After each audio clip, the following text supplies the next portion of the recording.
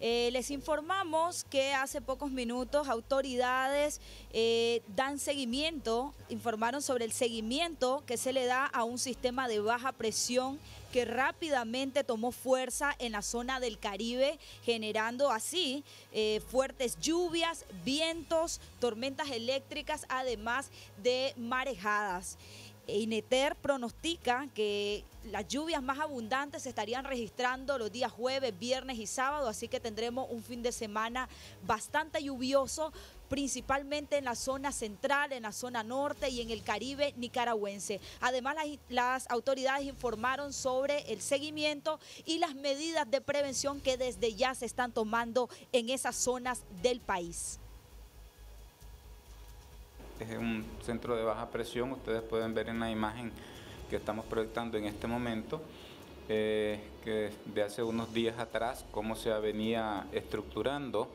este centro y al cual iniciamos eh, a darle vigilancia muy de cerca sobre la base de las experiencias que hemos tenido, de la influencia que estos fenómenos ejercen sobre Nicaragua. Eh, ahí podemos ver que este, este fenómeno se, inició de una manera eh, bastante desorganizada el día eh, domingo por la tarde y se ha venido pues poco a poco eh, organizando de mejor medida hasta que ya tuvimos una muy buena organización el día de ayer en horas de la tarde. En la siguiente imagen Ahí pueden ver otra imagen eh, de los modelos, como el sistema ahí en el sector del Caribe estaba eh, formándose, estructurándose y sobre el sector eh, Pacífico también había un poco de organización también de centros de bajas presiones que lo que hacen es indudablemente inestabilizar la atmósfera que circunda el territorio nicaragüense. Ya hemos tenido situaciones como esta, eh, hace un año aproximadamente, de tal manera que eh, en función de esta y, la época y los antecedentes que tenemos de lluvias en todos estos días, desde el día de ayer hemos orientado a los compañeros fundamentalmente del Caribe a prepararse de cara a posible elevación de los niveles de los ríos, eh, posiblemente prever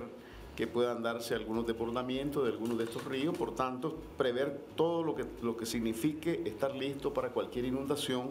dependiendo de la intensidad de la lluvia. Igualmente, hemos orientado a los compañeros del sur de Nicaragua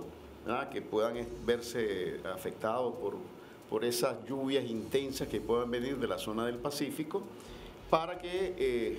los comités municipales eh, especialmente en aquellas zonas bajas, aquellas zonas bajas costeras, donde por esos oleajes que nos mencionaba Marcio se puedan ver afectados eh, en algún momento.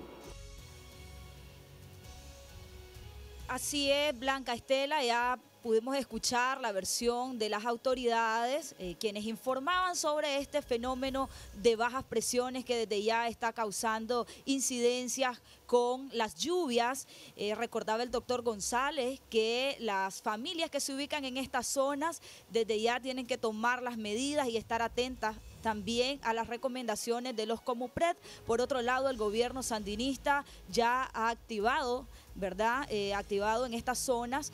a las personas que trabajan para prevenir eh, fatalidades. Eh, en la edición de las 6 de la tarde tendremos un reporte ampliado sobre el seguimiento de este fenómeno natural.